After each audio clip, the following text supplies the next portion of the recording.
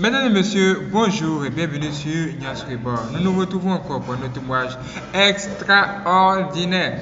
Si vous ne croyez pas à l'existence des sirènes, des tritons ou encore d'un monde sous l'eau, sous la mer, regardez cette image qui est là devant vous pour voir quelque chose. Si vous n'y croyez pas, écoutez ce témoignage ou encore cette histoire pour en savoir plus. Nous nous retrouvons où? Dans le témoignage puissant 69.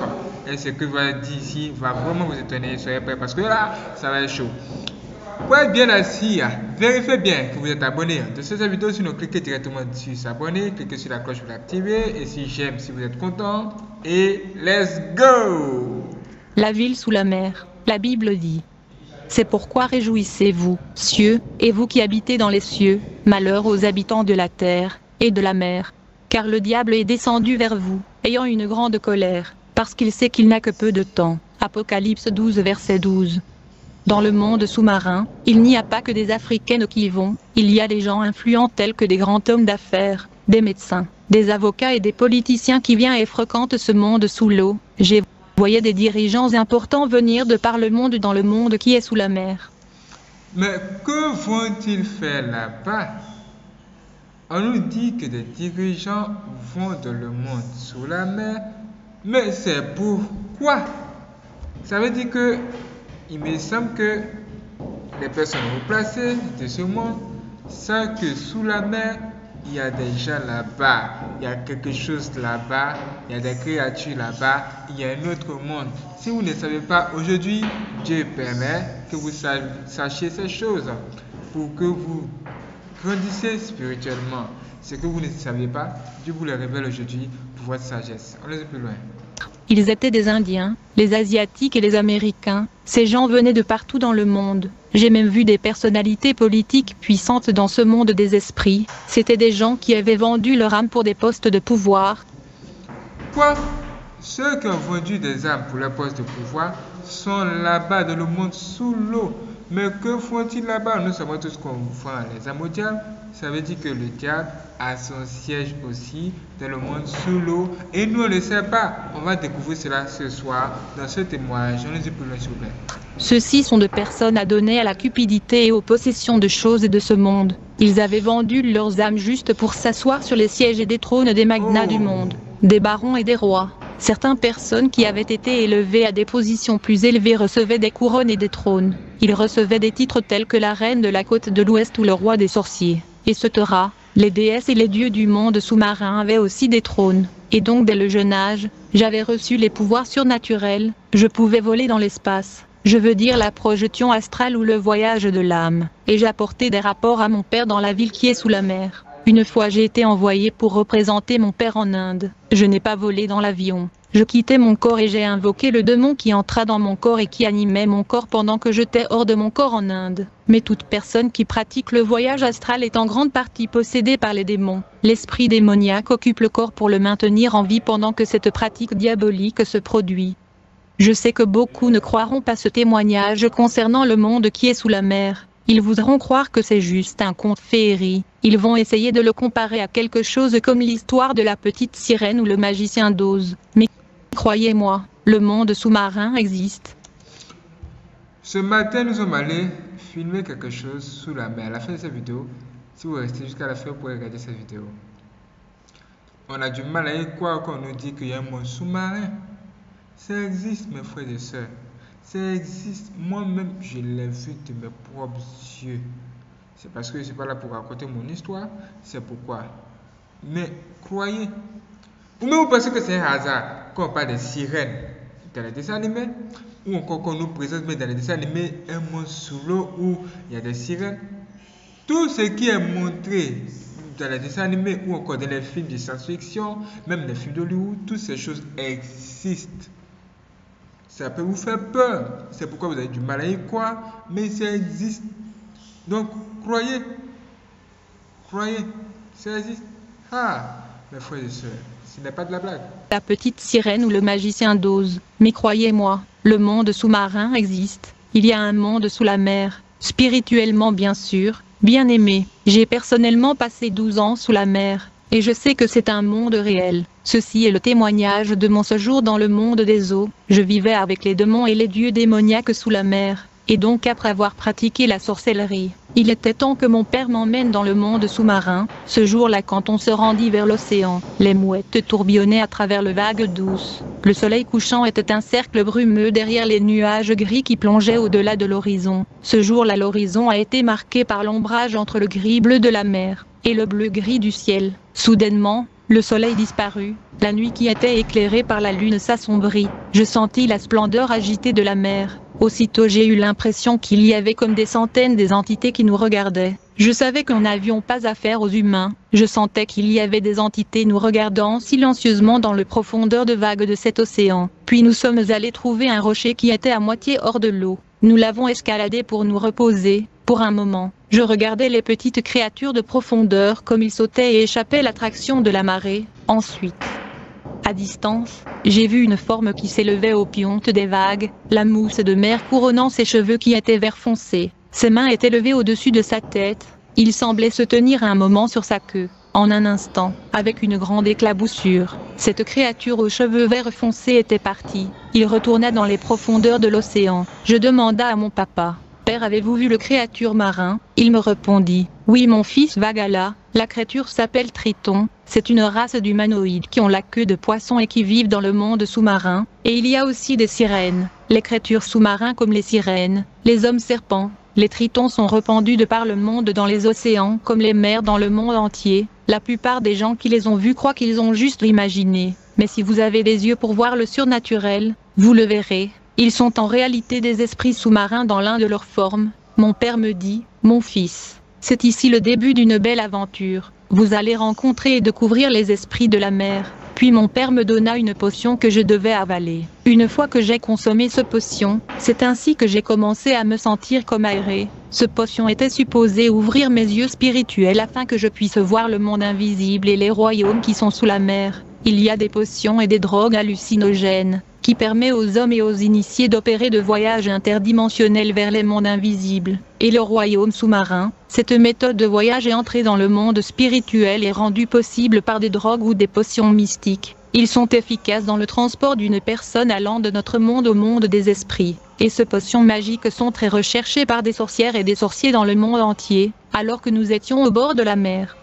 À un moment donné, mon père poussa un fort sifflement. Aussitôt qu'il poussa ce sifflement, j'ai vu instantanément deux démons très puissants qui sont apparus. Tout à coup, j'ai senti mon esprit se libérer de mon corps. Puis l'un de ces démons est entré dans mon corps, et il a pris le contrôle de celui-ci pour le garder en vie pendant que mon esprit serait voyagé dans le royaume des eaux. Quand je suis sorti de mon corps physique, je me sentais aussi libre qu'un oiseau. Mon père était aussi hors de son corps. C'était la première fois pour moi de voir mon père dans son corps spirituel, What? Son père était sorcier et ce dernier va le transporter dans un monde surnaturel et ils iront dans le monde sous l'eau, dans un monde sous l'eau pour faire quoi? Là, son père veut lui apprendre de bonnes choses, veut lui faire découvrir des choses extraordinaires, mais il voit qu'il est devenu léger. C'est normal que tu sois léger parce que ce n'est pas ton corps. Le corps que nous avons là, c'est une enveloppe, une enveloppe qui est assez lourde, mais l'esprit ou encore l'âme, l'esprit c'est léger. Donc c'est normal. Qu'est-ce que son père va montrer à son fils? Toi, au de parler de la parole de Dieu à ton enfant, tu es en train de nous montrer la sorcellerie. C'est ce que je te demande de faire. Ok, on depuis là pour voir ce qui va se passer par la suite quand ils vont effectuer cette projection astrale. Et ce qu'il faut, savoir également, c'est que ceux qui sortent de leur corps, ils laissent un démon dans leur corps. Ça veut dire que physiquement, si vous venez, par exemple, les réveiller physiquement, par exemple, s'il y a un sorcier dans votre maison et qu'il a, a effectué une sortie astrale, il a voyagé en esprit, la personne avec qui vous allez causer là, ce ne sera pas votre frère, hein. ce sera un démon en ce moment-là.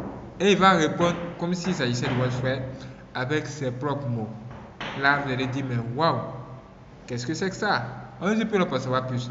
Ce qui va se passer après la sortie on en saura plus maintenant. Let's go. Si hors de son corps, c'était la première fois pour moi de voir mon père dans son corps spirituel. Il se déplaçait pour me prendre par la main. Puis j'ai regardé en arrière pour voir nos corps physiques qui étaient assis sur le rocher. Comme nous avons commencé à marcher vers la mer, nos corps physiques semblaient être vivants.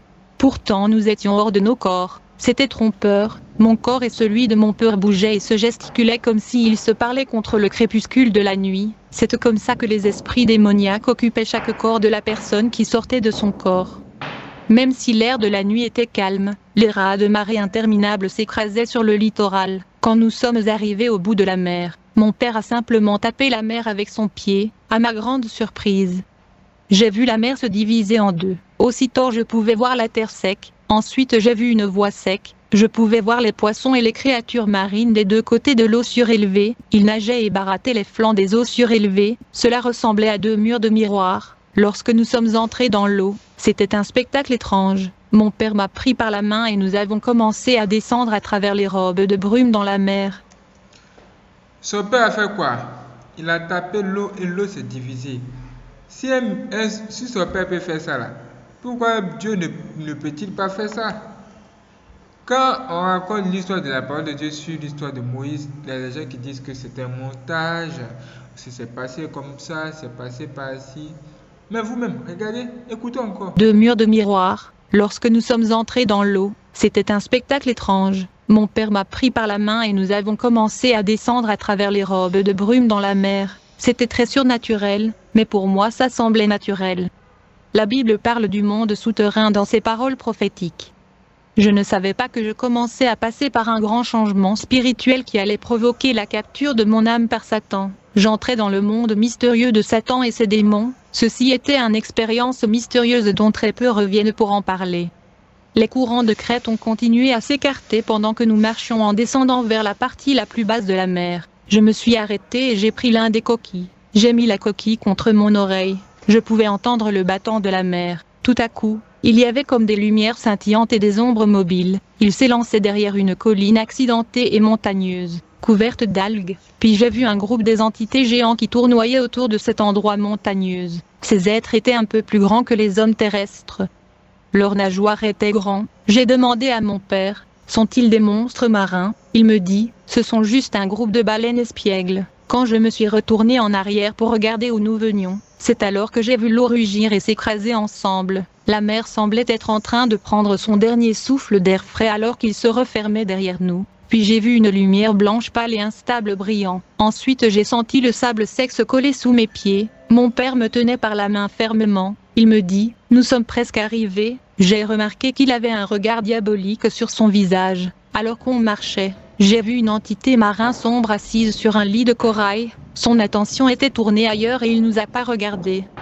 La Bible nous démontre que ces créatures sous-marins sont de grands êtres mystifiants qui vivent sous la mer. La Bible décrit et mentionne le Léviathan, le roi de la mer. Il est écrit, En ce jour le Seigneur punira Léviathan, le serpent fuyant, avec son épée féroce, grande et puissante, et il va tuer le dragon qui vit dans la mer qui est le Léviathan le serpent tordu. Dans Job 3 verset 8 il écrit, Dans les derniers jours, le Seigneur détruira le Léviathan qui vit dans la mer.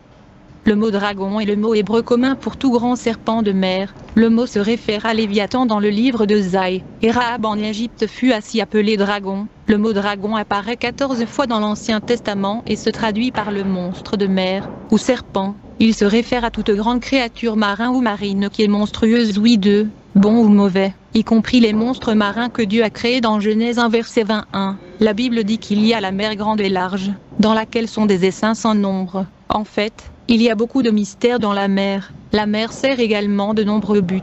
Et donc la Bible nous fait savoir que les monstres marins sont réels. Il y a des entités spirituelles sous la mer qui changent de forme. Ils sont nombreuses, et ils ont de formes différentes et des apparences physiques de monstres. Il y a des entités avec des mutations grotesques qui ressemblent à des créatures préhistoriques. Une preuve se trouve dans le livre de l'Apocalypse. Il est écrit, Je vis sortir de la bouche du dragon, et de la bouche de la bête, et de la bouche du faux prophète, trois esprits impurs, semblables à des grenouilles, ce sont des esprits démoniaques, accomplissant des signes. Dans la Bible quand Job trouve finalement la sagesse il a dit, Voici, la crainte du Seigneur, c'est la sagesse, et s'éloigner du mal c'est l'intelligence. Puisque la crainte du Seigneur est la sagesse, alors il va de soi que ceux qui sont dans le monde inférieur, les esprits décédés n'ont pas de sagesse, ils sont représentés par la mer profonde. Abaddon ou Apollyon est un être surnaturel à grande échelle qui personnifie la destruction. Il est actuellement limité dans le monde souterrain. Il est un roi diabolique des démons centaures qui seront libérés pendant le jugement de la cinquième trompette d'Apocalypse 9. Bien-aimé. L'évangile complet est un évangile équilibré qui inclut les méthodes du ministère de Jésus. Il a pointé son Église dans la bonne direction quand il a dit L'Esprit du Seigneur est sur moi parce qu'il m'a oint pour prêcher l'Évangile aux pauvres, il m'a envoyé pour guérir le cœur brisé, pour prêcher la délivrance aux captifs, et récupérer de la vue des aveugles, de mettre en liberté ceux qui sont brisés. Le ministère de Jésus était la délivrance. Il allait à travers toute la Galilée prêchant dans leur synagogue et chassant les démons. Jésus a chassé les démons. Jésus est donc notre exemple. L'Église a largement abdiqué son autorité et n'a pas cru en de telles choses. Alors comme mon père et moi marchons sur le sol sec au fond de la mer, on pouvait voir de loin une lumière brillante rayonner en distance. J'ai dit à mon papa, Regarde, père, je m'exclamais. Comme cette lumière brille, il brille comme un bijou fantastique. En fait, on s'approchait d'une ville brillante à des dimensions infinies, qui semble avoir été construite de façon surnaturelle et magique. Tout à coup, je me suis retrouvé en train de traverser les portes de la ville la plus belle et la plus mystérieuse sur Terre, la ville était au-delà des rêves et des visions. Les géants anges déchus gardaient l'entrée de la ville. Mon père me dit, mon fils, c'est ici que tu vas suivre la formation et l'entraînement. Il passe son bras autour de mon épaule, et me dit, vous serez fort et puissant parce que vous êtes né pour cette position. Il m'est impossible de vous décrire le merveille de cet endroit génial. Physiquement vous ne le verrez jamais, mais spirituellement vous pouvez le voir. Cependant, je n'ai jamais vu une ville sur cette terre plus belle que cette mystérieuse métropole sous-marine. Il y avait des gratte-ciels de cristal géants et futuristes. Il y avait de buildings brillantes, des lumières éblouissantes. C'était un endroit captivant et envoûtant, au-delà de mots. Il me rappelle un monde digne spirituel. Les rues et les boulevards étaient en or. Pas de l'or réel mais quelque chose qui semblait être de l'or. Il n'y a rien dans notre monde qui puisse se comparer à cet endroit captivant. C'était un monde magnifique majestueuse et ravissante. Il ressemble à une dimension apocalyptique, un royaume des féeriques. La ville sous la mer n'est pas un endroit caché des peuples d'Afrique. Depuis mon salut, le Seigneur Jésus a sauvé et délivré de nombreux sorciers et sorcières africains qui ont également donné le témoignage concernant la ville sous la mer. Les Africains de tout le continent ont donné de témoignages sur cette ville. La ville mystérieuse est un lieu surnaturel situé sous la mer au large des côtes du Ghana et il s'étend jusqu'au triangle des Bermudes au large du Cap Verde. C'est la zone où les ouragans et les cyclones sont développés. La ville est faite de substances où les imaginations échouent, au-delà de la croyance humaine. Il est l'habitation la plus spectaculaire du monde. Beaucoup d'Africains ont témoigné de son existence. Remarquez que j'ai cité Apocalypse 12 verset 12 pour vous, en tête de ce chapitre. Observez que la Bible dit, Malheur aux habitants de la terre et la mer, la Bible dit clairement qu'il y a des habitants et des êtres spirituels vivant sur la terre et la mer. Je parle parce que j'ai vécu et travaillé pour le royaume de Satan. C'est dans cette ville divinatoire que Satan forme ses agents pour voler les âmes des hommes, des femmes et enfants. Cette ville est très organisée. En fait, c'est dans cette ville sous-marin que Satan documente tout sur les gens qui vivent sur Terre. Il y a un livre appelé Livre des morts où chaque acte malfaisant commis par les gens sur la terre est enregistré. Ces enregistrements sont soigneusement conservés afin que les démons puissent légalement asservir et contrôler les gens qui vivent autour du monde. Il va également utiliser ces dossiers pour témoigner contre ces personnes devant le trône de Dieu après la fin du monde. C'est pourquoi l'Antéchrist va être en mesure de diriger le monde quand son temps viendra. Il n'a aucun pouvoir à moins qu'il ne lui soit donné par la rébellion du peuple contre Dieu. La Bible révèle que les esprits qui habitent sous la mer existent, mais d'une manière ou d'une autre, Satan a pu ensorceler les chrétiens afin qu'ils ne soient pas capables de voir ces écritures qui parlent du monde sous-marin. Quand je t'ai sauvé, je pouvais entendre les enseignants chrétiens et des pasteurs interpréter mal les écritures qui dit, et il se tint sur le sable de la mer. Puis je vis monter de la mer une bête qui avait dix cornes et sept têtes, et sur ses cornes dix diadèmes, et sur ses têtes des noms de blasphème. Les prédicateurs disent quand la Bible dit que l'Antichrist sortira de la mer, la mer représentait les peuples ou les masses de nations. Ils ne pouvaient pas comprendre que cet être démoniaque vient du monde sous-marin. Ce prince démoniaque recevra le pouvoir du dragon à la fin des temps. What?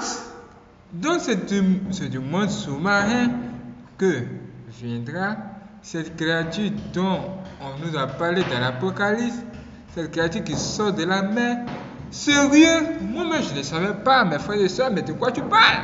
What? Mais c'est incroyable, c'est impossible. Comment ça se fait?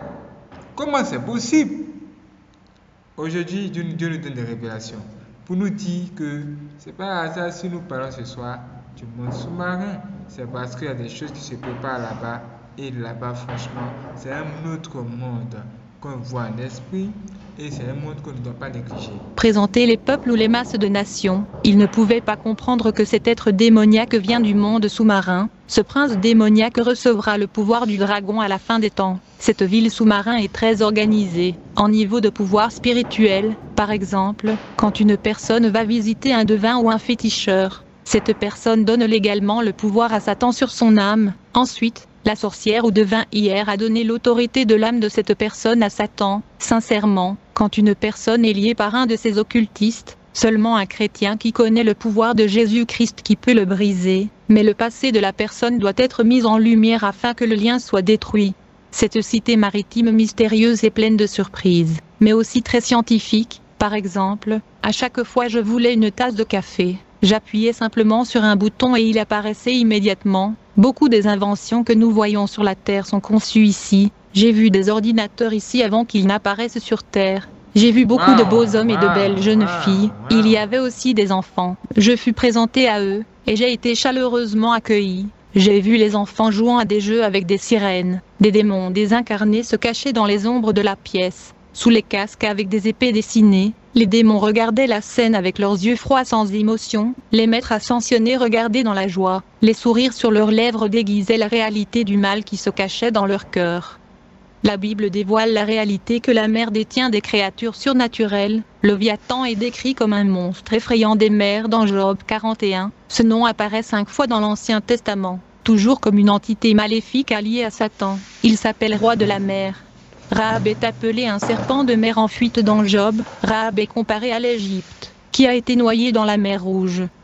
Cette ville spirituelle exotique est l'endroit où j'étais formé pour devenir un sorcier. Ici, j'ai appris à pratiquer la tromperie pour Satan et ses stratégies pour l'aider à gagner le monde pour sa cause perverse. Ses plans incluaient non seulement la tromperie des gens dans le monde mais aussi le sorcier et les gens rétrogrades dans les églises chrétiennes.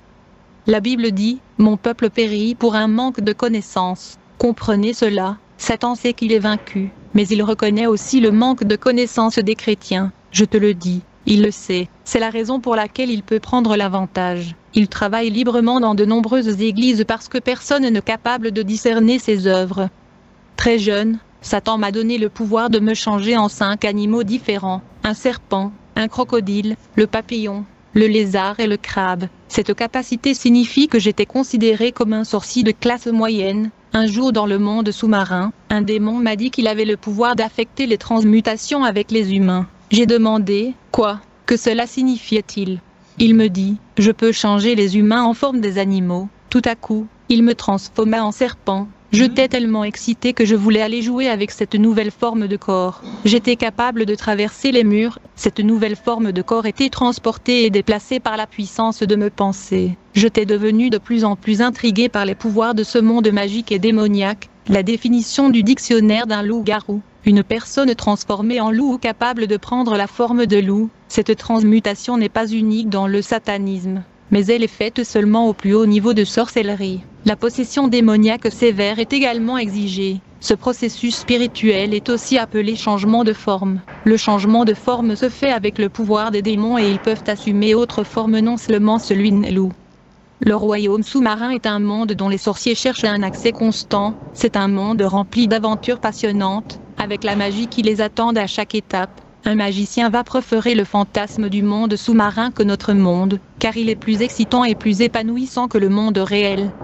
En Afrique, un sorcier de classe moyenne est considéré comme une personne très puissante. Cela signifie que si une autre personne prétend être une sorcière ou un sorcier puissant, mais s'il n'est pas puissant, il sera éliminé. Si vous servez Jésus, il faut savoir que les démons essaieront aussi de vous tuer. Dans le royaume des ténèbres, le sorcier essaye de tester la puissance de l'un à l'autre. Si un sorcier rencontre une autre sorcier qui prétend être puissant, il va essayer de tester sa puissance. Il y a toujours de tests de puissance dans le monde spirituel. Ce test s'étend de même aux chrétiens qui disent avoir un pouvoir spirituel. Je veux dire, quand un sorcier rencontre un chrétien, il va tenter de tester sa puissance. La façon dont ce test fonctionne est ceci, le sorcier va survoler la maison du chrétien, et va essayer de scanner et scruter les chrétiens avant qu'ils ne tentent de jeter le mauvais sort. Ils doivent scanner les chrétiens afin de s'assurer que ces flèches très enflammées va atteindre la cible. Partant de ceci, le sorcier envoie d'abord les démons de balayage pour voir s'ils peuvent atteindre la cible, de peur de subir l'effet adverse. Si la personne vit une vie sainte couverte par le sang de Jésus, un sage sorcier n'attaquera pas, car le munition tirée va se retourner contre lui. Quand je vivais dans le monde de sirènes sous la mer, je me souviens que l'un de mes divinités préférées que j'ai rencontré dans la ville souterraine était Mammon. Il est un être doré. Il est fait d'une substance qui est comme l'or. Et il a un œil au centre de son front, et des marques sur sa tête. Il est la créature la plus maléfique du monde. Il se tient à environ plus de 2 mètres de haut. Il marche comme s'il avait des ressorts sur ses pieds. Il est un demi-dieu géant du monde sous-marin. Il est l'esprit derrière l'argent du monde entier. Il règne dans la vie de ceux qui se consacrent à son nom. Je veux dire, il est le ministre de finances du monde de Satan. Il a ses mains dans toutes les choses mauvaises de la terre. Il est très puissant et adoré par ceux qui veulent gouverner le monde et qui sont à la poursuite de la richesse. Un jour il m'a dit, les hommes sur la terre rejoignent tous le plan de Satan pour un nouveau gouvernement mondial, à cause de leur avidité pour le lucre dégoûtant, à cause de la passion, la convoitise pour la richesse qui est la racine de tout le mal, les yeux sombres de Mammon se lançaient avant en arrière. Je soupira et dis, tu as tout à fait raison, l'argent fait tourner le monde. Maman se retourna et regarda droit dans mes yeux, puis il me parla de la statue de Zeus qui a sa place dans le hall d'entrée des Nations Unies. Soudainement, il a commencé à rire et il me dit, imaginez ceci, Zeus est le dieu des guerres, mais il est là, gardant l'endroit où ces hommes stupides parlent de paix et sécurité qui sont censés régner sur le monde. Puis maman me demanda, est-ce que tu aimes Zeus plus que moi? Sa voix semblait jalouse et hennissante. Je lui dis non, bien sûr que non. Aussitôt il disparut. Jésus a dit, Nul ne peut servir deux maîtres. Car, où il haïra l'un et aimera l'autre, où il s'attachera à l'un et méprisera l'autre. Vous ne pouvez servir Dieu et Mammon, bien aimé, dans le monde de Satan. Belzebul est appelé le prince des démons. Il est le démon qui contrôle toutes sortes de sorcières. J'ai déjà travaillé avec ce démon. Il ne passe pas par les pouvoirs et les principautés, parce qu'il est un seul responsable au-dessus de lui qui est Lucifer. Belzebul le seigneur des mouches est en charge de sorcières et sorciers. Il est l'incarnation de la cruauté. La ville sous la mer a beaucoup de dieux et demi-dieux. Ils furent vénérés depuis le début des temps. J'ai vu les formes de ces dieux et déesses. C'est ainsi que dans le monde de Sirène je voyais le panthéon des dieux et des déesses de l'Égypte antique. Ils ont les formes telles que Bast, la déesse Chat qui est la déesse du plaisir, le célèbre Izzy est connu pour utiliser ses pouvoirs pour guérir l'humanité. Dans ce monde des eaux, j'ai vu Matt, la sirène du droit, de la vérité et de la justice, alors que Seth est considéré comme le dieu des forces chaotiques. Nebka qui a la tête de serpent préside au rite funéraire, le dieu de la lune. Dans ce monde je voyais la sirène Jezabel qui est la déesse territoriale qui capture le cœur des hommes et le devis verbal. Il faut noter que tout sorcier est sataniste a un guide ou un démon moniteur sous la mer qui est son superviseur. Le travail de ce démon guide est de veiller à la formation du sorcier et sataniste. J'avais donc un démon superviseur. Un jour je lui avais posé la question telle que Pourquoi sommes-nous en train de tuer les humains sur la Terre? Mon superviseur me répondit quelque chose comme ceci. Il me dit cela est dans la Bible. Il me dit, un jour un homme avait dit, si vous ne mangez pas ma chair et ne buvez pas mon sang, vous ne vivrez pas. À cette époque nous ne savions rien à propos de la Bible, c'est ainsi que nous avons accepté son explication. Nous avons donc commencé à manger de la chair humaine et boire du sang humain pour pouvoir vivre. Certains des démons m'ont dit des choses que je ne pouvais pas comprendre jusqu'à ce que je sois sauvé et délivré. Je me souviens une fois j'ai demandé à un démon, quelle est notre récompense pour tous les meurtres que nous sommes recommandés de perpétrer pour Satan contre l'humanité? Le démon me répondit, si vous voulez une récompense, il y avait un homme qui est venu dans ce monde, il avait vécu seulement 33 ans. Puis il est mort. Les gens l'ont crucifié. Il est mort et le troisième jour il se releva des morts. J'ai demandé, qui était cet homme? Le démon me répondit, nous ne pouvons pas mentionner son nom ici. J'ai demandé au démon, est-ce un musulman? Il me dit, non, j'ai demandé. Est-ce le Bouddha? Il me dit, non, ce n'est pas le Bouddha. Il me dit, si vous voulez une bonne récompense, repentez-vous. Nous les esprits ne pouvons pas nous repentir, mais vous, vous êtes un être humain, créé à l'image de Dieu. Vous avez encore la chance. Les hommes peuvent se repentir mais nous ne pouvons pas nous repentir. Il y avait un homme qui est venu dans le monde. Il a vécu seulement 33 ans. Il a été crucifié. Il mourut et fut enterré. Et le troisième jour, il a été ressuscité de mort. J'ai dit à ce démon, pouvez-vous mentionner son nom? Il me dit, chut, nous ne pouvons pas mentionner son nom. C'est alors que je lui ai demandé, est-ce qu'il y a quelqu'un de plus puissant que notre peuple dans le monde sous-marin? Il me dit, bien sûr, il est cent fois plus puissant que nous. C'est alors que j'ai commencé à lui mentionner les principautés et les princes puissants du monde de Satan. Il me répondit, cet homme-là était une centaine de fois plus fort que les princes et les principautés de notre monde. Finalement, je lui ai demandé s'il y avait quelqu'un dans l'univers qui était plus puissant que le gourou. Dans le monde sous-marin, on appelait Satan le gourou. C'est alors que le démon me répondit. Cet homme-là est plus de dix fois plus puissant que le gourou. J'ai lui demandé, qui est donc cette personne? Il me dit, les gens qui suivent cet homme dont je parle, nous les appelons des rebelles. Il me dit, si tu suis cet homme, tu ne souffrirais pas comme nous dans le lac de feu et du soufre. Je ne savais pas de qui ce démon parlait, parce qu'il a dit qu'on lui avait interdit de dire le nom de cette personne, la Bible dit. Ce pourquoi aussi Dieu l'a souverainement élevé, et lui a donné le nom qui est au-dessus de tout nom, afin qu'au nom de Jésus tout genou fléchisse dans les cieux, sur la terre et sous la terre, et que toute langue confesse que Jésus-Christ est Seigneur, à la gloire de Dieu le Père et donc cette étrange métropole sous-marine est utilisée pour fabriquer des choses et vont divertir et distraire les habitants de la Terre de sorte qu'il n'est pas de temps pour Dieu. Satan utilise les dieux de l'argent, le déesse de la mode, les esprits des perversions, de la pornographie, des sirènes du tatouage et de piercing avec des bagues. Ces démons produisent également de nouvelles inventions. Il y a aussi des laboratoires dans lesquels des articles sont inventés pour gagner les âmes des gens facilement. En conséquence, les gadgets électroniques sont imaginés ici avant qu'ils n'apparaissent dans le monde. Par exemple, je me souviens avoir vu des ordinateurs dans le monde qui est sous la mer au début des années 70, avant qu'ils ne soient matérialisés et ne deviennent populaires dans le monde. Les ordinateurs s'explosent et finiront par remplacer le téléphone et la télévision. De plus, l'Internet n'est pas réglementé, donc il est rempli de musique maléfique, de la pornographie, de la sorcellerie et de sites de jeux vidéo démoniaques diaboliques, donc l'Internet est devenu la cour de récréation de Satan. C'est une fenêtre ouverte pour que des millions de personnes tombent dans la méchanceté. En tout cas, l'ordinateur est l'une des inventions les plus puissantes de Satan à ce jour. Par ailleurs, sous la mer dans les villes urbaines de Sirène, il y a des télescopes, des télévisions qui semblent surnaturelles. Celles-ci sont des machines qui sont données aux sorciers et satanistes, pour qu'ils les emmènent chez eux à la surface, afin qu'ils puissent surveiller leurs familles ou des chrétiens, c'est ainsi qu'il y a des téléviseurs qui permettent aux agents sorciers et satanistes de suivre les mouvements des chrétiens et de suivre les plans des églises auxquelles ils sont assignés et affectés. Satan invente également de nouvelles modes pour piéger les hommes et gagner leur âme. Le monde sous-marin de sirène est à la base de choses telles que le piercing qui est devenu populaire, le tatouage qui est devenu le style chez beaucoup. Il invente des outils et instruments électroniques, comme les ordinateurs, les crèmes que nous utilisons, les parfums et déodorants, les cosmétiques, de belles voitures et des choses fantastiques qui vont divertir l'humanité. Mes frères et sœurs, c'est incroyable. Mais toutes ces choses-là, on les a chez nous. Comment ta télévision peut être une porte des étoiles pour les démons? Une porte d'entrée pour les démons, même ton ordinateur, les démons vont sortir et ton ordinateur va venir vers toi.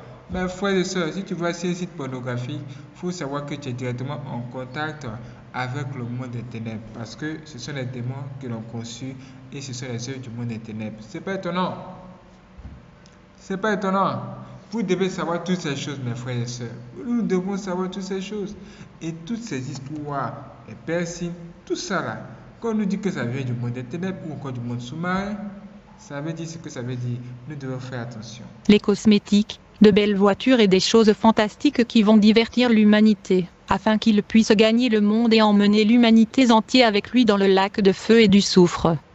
Les occultistes désirent profondément passer une grande partie de leur temps dans le monde fantastique qui est sous la mer. Ils peuvent voyager là par voyage astral, dans lequel leur âme quitte réellement leur corps pour aller dans la dimension invisible. Bien sûr, un esprit démoniaque doit rester dans leur corps pour l'empêcher de mourir. Dans le monde sous-marin, certains des démons au fond de la mer apparaissent sous la forme des humains tandis que d'autres ont leur nature et corps des anges déchus. Ils apparaissent comme des dieux et des déesses. Certains sont comme des anges de lumière, tandis que d'autres ressemblent à des monstres mystiques. En fait, Vous pouvez voir les formes et apparences de certains de ces monstres en allant dans un magasin de musique rock et roll, en regardant certaines des couvertures des albums cassettes, car ils se sont révélés aux artistes musiciens qui sont connus dans l'industrie de la musique.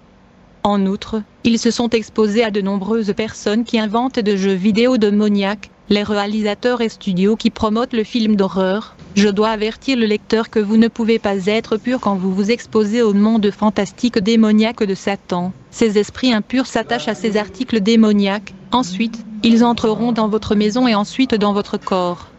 Croyez-moi, après l'exposition, vous serez tourmenté à moins que vous ne soyez assez chanceux pour recevoir Jésus-Christ et recevoir la délivrance. Des démons qui entrent dans la vie des gens à cause des films d'horreur ou de certains films, même des jeux vidéo sataniques. Ah Mes frères et sœurs, on dit d'abord ces démons-là, ils sont où? Dans la maison, dans votre maison. Une fois qu'ils sont dans votre maison, maintenant ils chercheront à faire quoi? Entrer dans votre corps pour habiter quelque part en vous. Et une fois qu'ils sont en vous, ça sera vraiment chaud, hein mes frères et sœurs, c'est chaud déjà, hein Qu'en pensez-vous? Mais c'est quoi? Mais c'est impossible. Comment ça se fait? Comment ça se fait Écoutez ce témoignage parce que là, ça devient grave. Je suis étonné même. Et impur s'attache à ces articles démoniaques. Ensuite, ils entreront dans votre maison et ensuite dans votre corps. Croyez-moi, après l'exposition, vous serez tourmenté à moins que vous ne soyez assez chanceux pour recevoir Jésus-Christ et recevoir la délivrance. La Bible parle des êtres surnaturels sortant de la mer dans l'Apocalypse. Ils ont pour roi l'ange de l'abîme, son nom en hébreu est Abaddon, en grec il a le nom Apollyon. Apocalypse 9h11.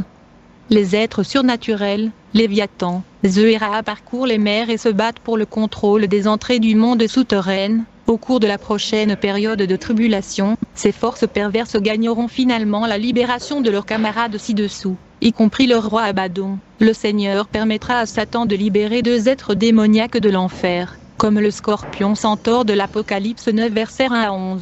Ils sont au nombre de 200 millions de cavaliers démoniaques.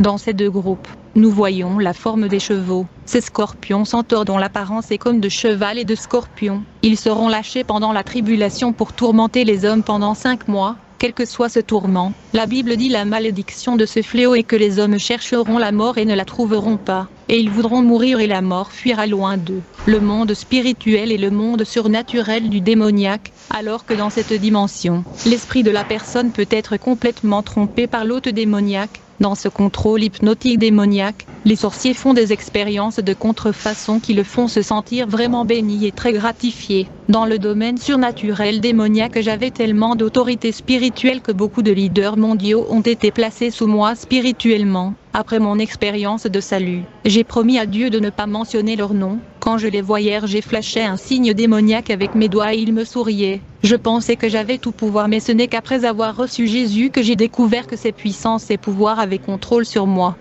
Il y a beaucoup des enfants dans le monde sous-marin, certains de ces enfants appartiennent à des familles sorciers. Dans le monde des sorciers les hommes et femmes sorciers se marient et donnent naissance aux enfants. Cependant, beaucoup de ces enfants sont des êtres spirituels, tandis que d'autres sont des enfants de la rue affamés qui ont été capturés par les agents de Satan. Ce sont des enfants qui ont été abandonnés par leurs parents, et qui errent dans les rues. Malheureusement, ils sont les principaux candidats ciblés par les sorcières pour les transformer en sorcières et sorciers. Aussi, ces enfants des rues sont pris en charge par les reines des confréries et les mages du roi. Ces pauvres enfants sont nourris avec des potions de chair humaine et boivent du sang humain dans les peaux de leurs sorcières. Sans tarder, ils seront amenés à la ville sous la mer pour être formés en tant qu'agents de Satan. Une fois qu'ils viennent à la ville sous-marine, ils passent par des rites d'initiation impliquant le chant et ils sont baignés dans le sang humain, en utilisant des sacrifices humains et animaux. Ici, le sang humain est utilisé pour apaiser les demi-dieux, en échange, ils espèrent être bénis par ces dieux par de bonnes fortunes. On leur demande de donner des repas à leurs parents pour acquérir un pouvoir démoniaque sur eux. Bien sûr, ils vont mettre des potions magiques dans ces repas. Ces enfants sont endurcis dans leur cœur et ils se retournent contre leur mère, leur père, leur sœur, leurs frères et leurs tantes pour les tuer. Plusieurs fois ces enfants sont dirigés à exercer des pouvoirs maléfiques contre leurs proches, parfois même apportant le corps des morts pour prouver leur loyauté à Satan. C'est une histoire effrayante, mais vraie. En Afrique, Nous n'avons pas de cuisine dans nos églises comme les églises en Amérique font. La raison en est que les sorciers essaient parfois d'utiliser des potions maléfiques pour envoûter les faibles hors de l'église et dans leurs bras. Nous sommes très protecteurs concernant nos enfants chrétiens. La cité maritime est l'endroit où les enfants des rues sans abri seront formés pour devenir les agents de Satan pour voler des âmes. Ils sont envoyés dans les églises pour les détruire. Beaucoup de chrétiens bien intentionnés ne peuvent pas discerner la nature perverse de ces enfants parce qu'ils les voient simplement comme des enfants. Néanmoins, les démons qui utilisent les corps de ces enfants pour contrôler les autres sont rusés. En même temps, ces mauvais démons sont sous le contrôle de Satan. Les démons utilisent simplement les corps des enfants pour voler, tuer et détruire. Les enfants de la mer sont capables de causer une grande confusion et des divisions parmi les gens de l'Église. Certains des enfants de la ville sous la mer sont utilisés sur les plages pour vendre ou donner des coquillages aux touristes de par le monde. L'acheteur sans méfiance ramènera ses coquilles à la maison, ne sachant pas que les démons sont attachés à ces coquilles. C'est un moyen que Satan peut utiliser comme point de contact. Il les utilise pour détruire et faire du mal aux victimes qui les amènent à la maison. Je connais une femme qui a pris une belle coquille d'un enfant sur la plage, puis elle a commencé à avoir des rêves sexuels tourmentants. Soudainement, sa course est remplie de grenouilles, le Saint-Esprit lui a révélé de détruire la coquille. Elle l'a fait et les rêves ont disparu, tout comme les grenouilles. Les enfants sorcières peuvent également être vus en train de voler la nuit comme des fusées de feu dans le ciel. Parfois, ils peuvent être vus sifflant dans la nuit comme des feux d'artifice. Le midi est un temps dangereux, car aucun homme ne peut projeter une ombre. La superstition est que l'âme disparaît temporairement, une âme et une ombre étant égales. Les esprits invisibles cherchent un demeure. Ces enfants contrôlés par la sorcellerie ont chacun de nombreux esprits de serpent dans leur estomac, et ces mauvais esprits sont les médiums de leurs mauvaises actions.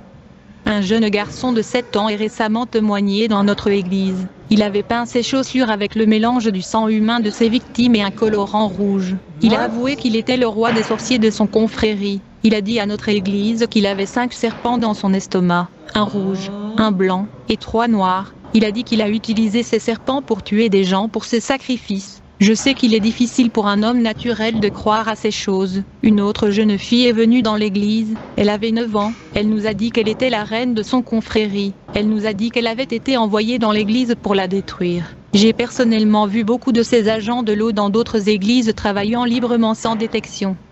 Certains enfants qui ont été capturés par des sorcières et des sorciers de la ville sous la mer peuvent être sauvés et convertis. J'ai personnellement connu beaucoup de ces enfants humains qui ont été convertis au christianisme. Dans notre église en Afrique, nous avons des enfants qui ont trouvé le salut à travers la grâce de Dieu. Nous leur parlerons de Jésus mais nous ne les laisserons pas recevoir le Christ à moins qu'ils apportent leur peau de sorcière et leur boîte de sorcellerie à l'église. Ces pots et boîtes sont remplies de sorcellerie, des choses magiques, telles que les fétiches, charme, croix, poudre et saint, nous détruisons les pouvoirs démoniaques sur ces pots et articles par la prière au nom de Jésus. En conclusion, il a été notre expérience que si nous essayons de les convertir sans obtenir ces articles, ils reviendront à la sorcellerie. Les sorcières les ramèneront simplement à travers leurs objets de contact.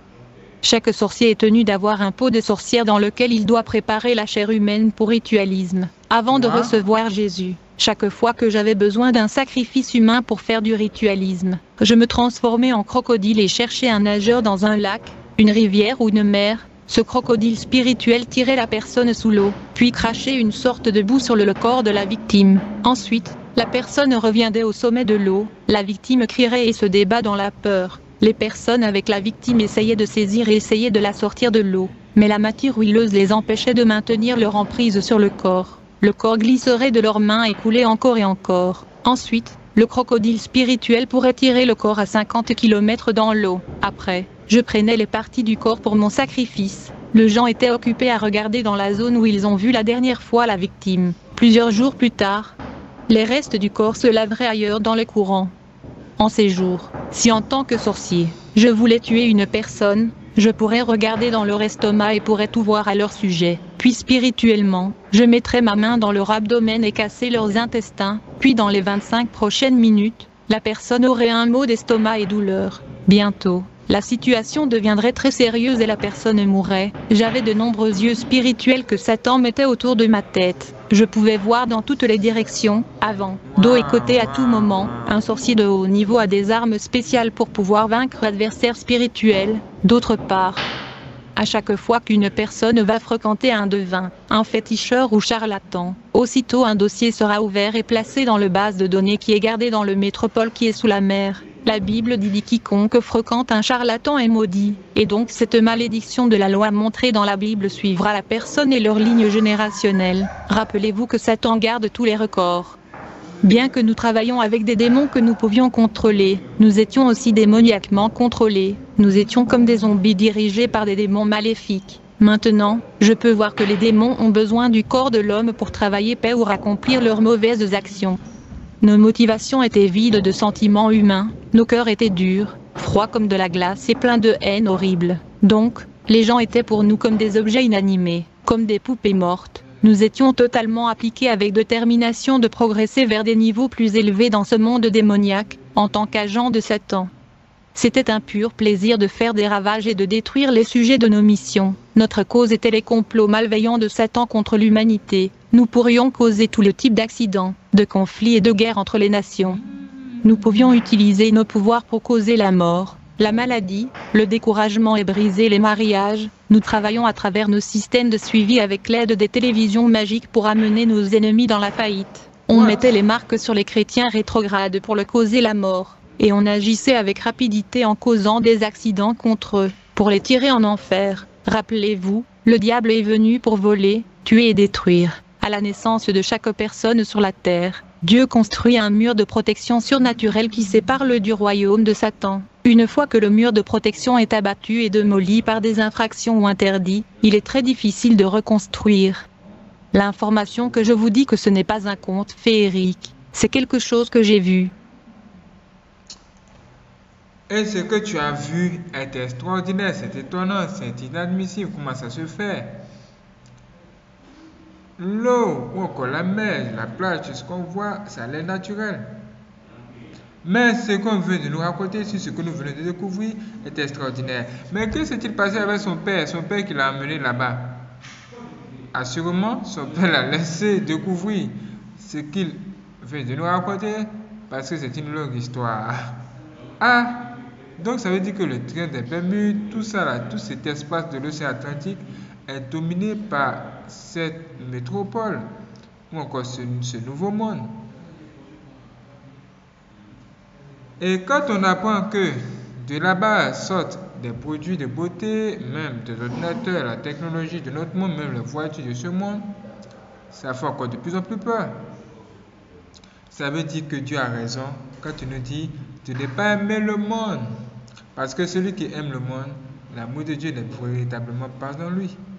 Apprenons à aimer Dieu et fuyons le monde, mes frères et sœurs. Si vous aimez l'argent plus que Dieu, plus que l'homme, sachez qu'il y a un démon qui est derrière. Et on l'a vu, c'est le démon maman.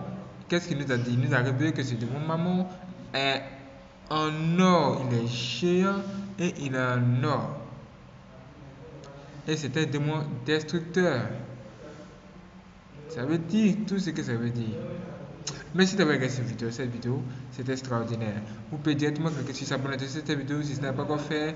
Et préparez-vous pour la prochaine vidéo. Ça va être chaud. Que Dieu bénisse à vous. Let's go.